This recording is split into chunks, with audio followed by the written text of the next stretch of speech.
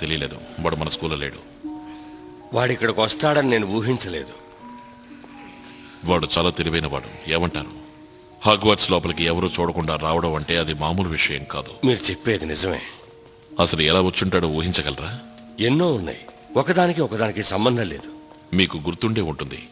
ఈ సంవత్సరం మొదలవడానికి ముందే ప్రొఫెసర్ లూపిని నియమించడం విషయం గురించి నేను మీతో మాట్లాడాను. ఈ స్కూల్లో ఏ ప్రొఫెసరు బ్లాక్కి అసలు సాయం చేయడు. ఈ భవనం సురక్షితంగానే ఉందని నాకు అనిపిస్తోంది.